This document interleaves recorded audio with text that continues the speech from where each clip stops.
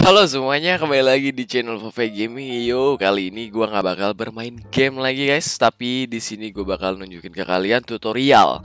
Yaitu di sini simple banget tutorial lah. Bagi kalian yang tidak bisa push to talk di point blank atau kalian mau main point blank tapi kalian takutnya bocor ke teman kalian suara kalian entah kalian lagi main di warnet atau kalian main di rumah tapi rumah kalian lagi berisik dan kalian tidak enak sama teman-teman kalian di Discord kalian gampang banget. Oke, jadi pertama jangan lupa di subscribe karena subscribe itu gratis dan tidak ada ruginya kalian subscribe.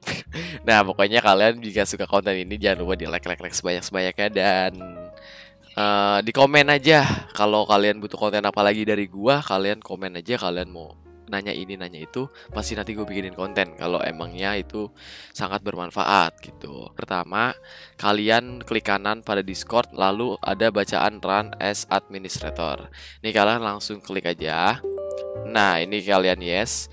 Jadi tahap yang pertama kalian harus run dulu Jangan langsung klik uh, double klik gitu Karena itu nanti nggak bakal bisa push Oke yang pertama langsung aja kalian ke user setting Habis itu kalian ke voice and video. Di sini ada input mode yaitu ada voice activity sama push to talk. Kalian klik yang push to talk. Nah, di sini karena aku memakai makro dari tombol tombol mouse makro yang di sini, aku pakai ini gitu. Jadi setiap aku ngomong, misal kita ke sini, oke, di sini kita lihat. Di sini aku belum ngomong kan, belum hijau. Di sini belum hijau, langsung aku pencet bebarengan. Kalau tes tes tes tes tes dia hijau. Nah, di sini akan berfungsi ketika kamu bermain PB secara bersama dengan Discord gitu.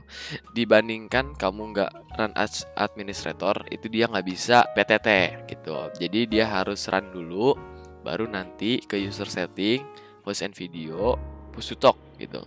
Kalian eh, nggak mau capek mencet-mencet mulu. Nah, kalian bisa pakai voice activity. Habis itu kalian ke bawah, kalian ke Keybins nih.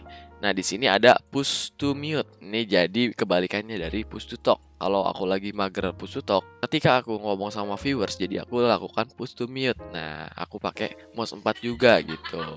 Jadi di sini, nah ini dia on nyala terus kan? Dia on nyala terus. Ketika aku pencet ini, pencet uh, makronya yang tadi udah di setting, dia jadi ke mute gitu.